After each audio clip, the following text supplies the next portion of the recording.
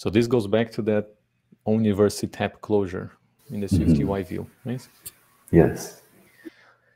You would prefer using this function instead of duplicating code. Or you would like to call this closure directly when there is a tap. Uh, I think so. Yeah. Whenever if you, if you scroll up a little bit, you can see the the the on the there's the the on university tab, Right. and um, I guess the the question is here.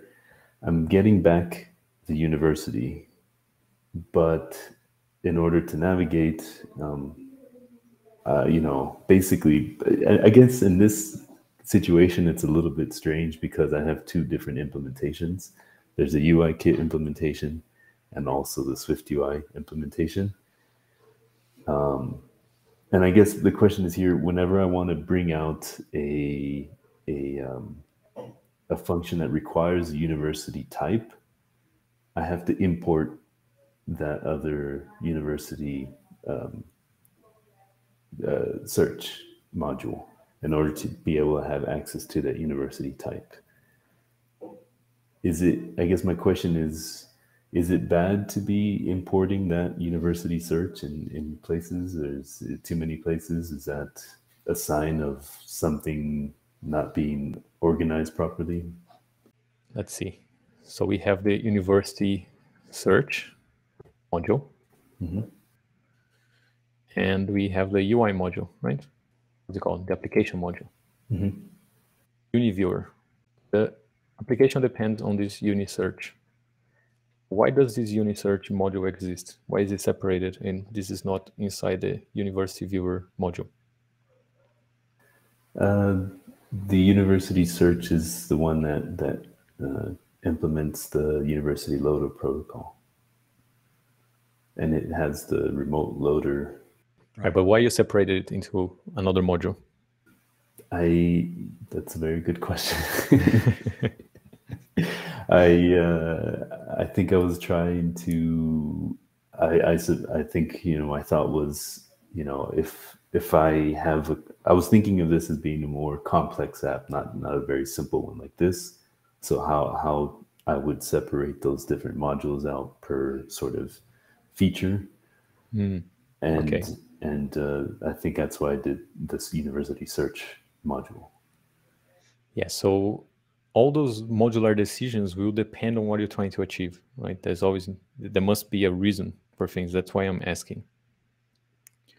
For example, if you say I decouple the UniSearch modules because I want to have different applications, like I have a UniViewer iOS app, I have another one like UniViewer macOS app, and I want them to use the same UniSearch types. Then you move it to a separate framework and you use it across applications, right? Into another module. So here there's a clear benefit. You're reusing those types, keeping that domain logic shared across applications, Mm-hmm. right? But if you have only one application, then that's not a problem to keep everything in the same module, right? It's one application will never grow. It's a tiny application. That's it. Keep everything in the same module, easy to access. Now the question is like, let's say that this is what you want. You want is uh, separation here in a separate module. The UniSearch to be in its own module, so it can be used across applications. Now, the question was, if that's what we want, is there a problem if I import UniSearch everywhere in the iOS app? Let's see. So you have a Swift UI view and imports it. The view model imports it. The view controller imports it as well. Yeah, I start to feel like I'm importing this everywhere. Yeah. So what this is saying is that this application is very tightly coupled with the UniSearch. This would be a problem is if e, the UniSearch, for example, you say there's a remote backend API behind it, right? Providing this university data. Mm-hmm. There's a UniSearch backend at some point. This may be a problem that you may have like three applications,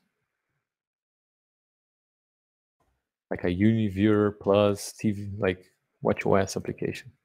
it may be a problem if you are coupling these applications with details of the backend because the backend may change. They may change the keys, they may change for different reasons, right? You may decide, you know what, I'm going to start using Firebase. No, I'm going to use my own custom backend. And then, if those API are depending on details of this backend, it'll be hard to update it. Because if the backend changes, you need to update all the applications. Okay. And this is what we show in the program. One way to solve that problem is to eliminate dependencies on backend details and make the backend details depend on the application. Because I see here that you have the backend details in this module, right? With the keys, for example.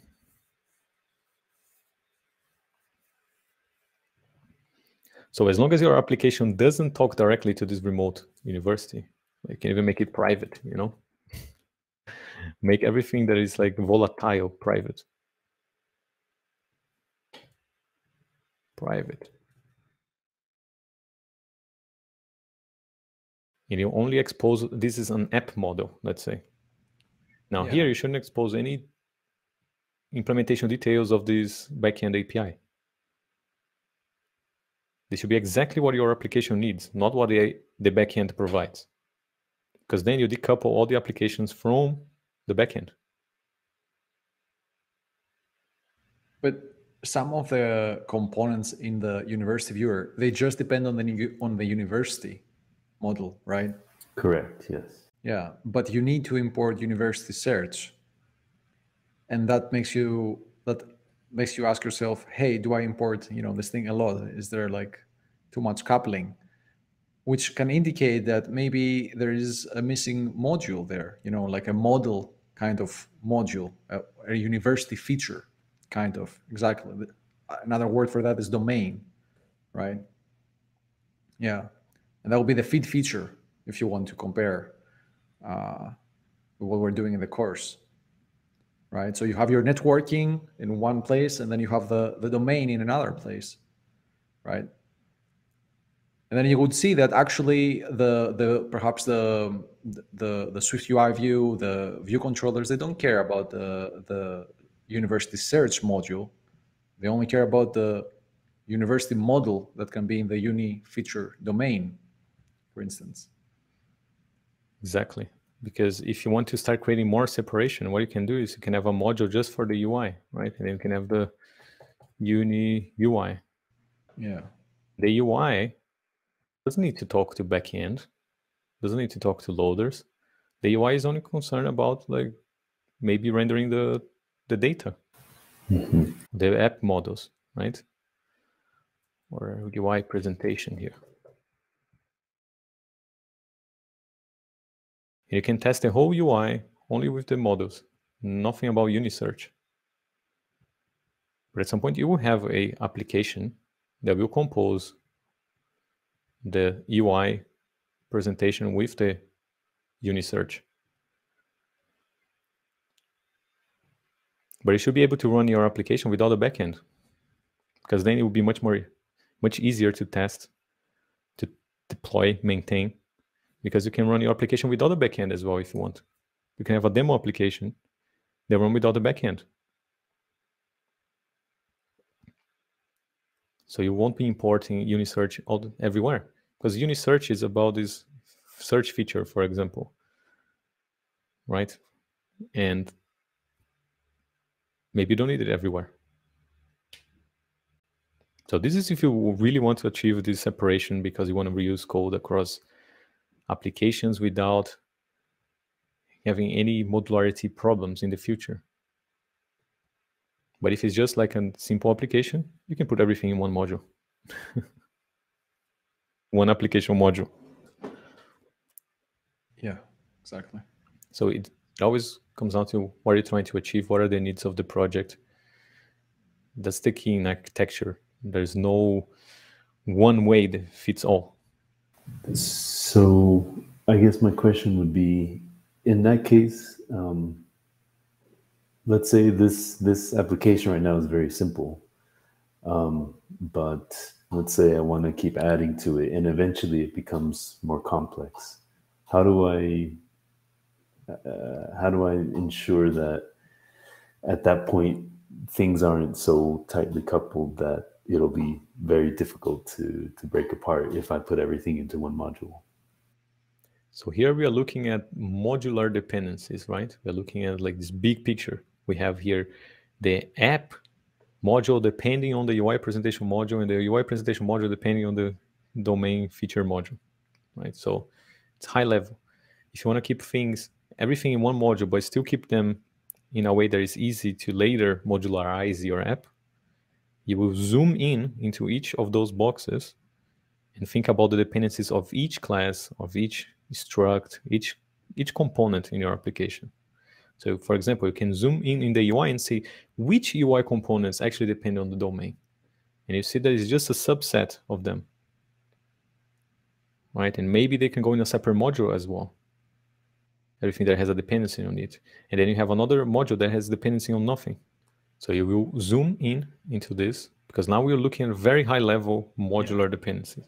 And then inside the, each module, there's a bunch of classes. There's a bunch of structs, enums, and then you can analyze the dependencies between them And how they communicate between them and you're going to learn about the concept called a boundary which is key uh, for what you're asking here you know like for things to make sense.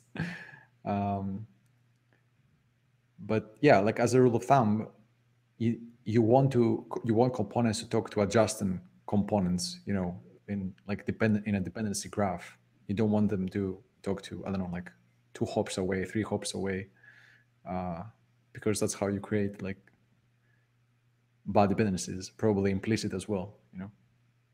Okay so you will zoom in inside the module here and you'll find out that inside here i have a university model for example this university model doesn't depend on anything and then inside the UI, you realize that the UI has a view, list view, that depends on this university model. And you think, mm, I don't want, I want to decouple the UI from the domain because I want to be able to reuse the UI across domains in different applications. So like, mm, how can I eliminate this? You will create here in other view, it will create exactly a university view model, for example, or university data, university store, whatever you want to call it, in this model here, with only the data the list view needs. Because this university may expose 20 properties, but you only care about two. Then you can create a specific view model for this list view item with exactly what this list view needs. And it will be some someone else here in the application will have to map university, like convert university into university view model. And now you have these two, this UI presentation module is decoupled from the domain. Yes. So when there's a need, when there's a requirement, then we find a solution for it. But trying to find solutions without the requirement, it doesn't work that way because there are infinite solutions.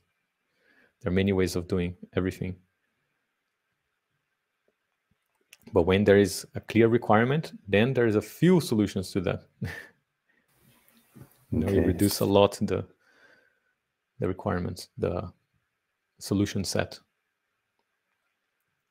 So when you want to decouple two modules, look at inside, you zoom in into the module dependencies, look at each like individual class and say, okay, I want to eliminate these two dependencies. How? Well, I need to create my own model because the list view still needs a model that will give data to be rendered. But instead of using the one that is defined in this domain model, I will create my own with exactly the data we need. And it's up to another module to communicate to with the domain and convert it to what I need. I see.